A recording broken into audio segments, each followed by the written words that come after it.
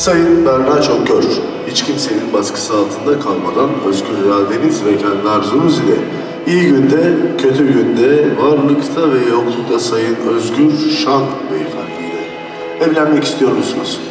Evet.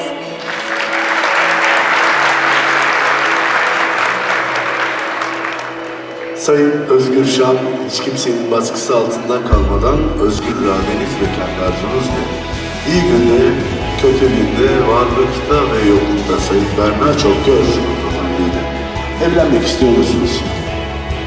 Sonsuza kadar seninle. Evet.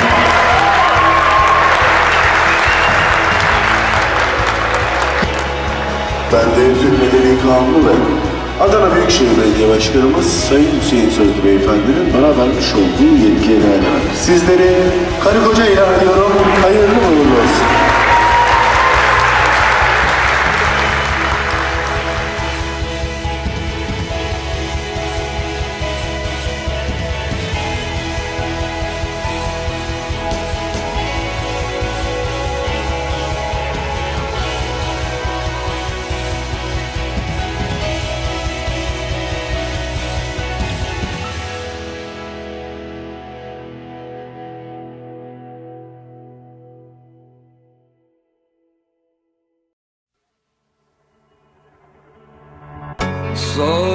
Is what